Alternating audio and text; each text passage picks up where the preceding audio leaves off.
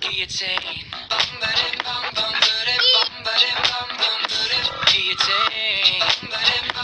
Even when I lose my head, guillotine.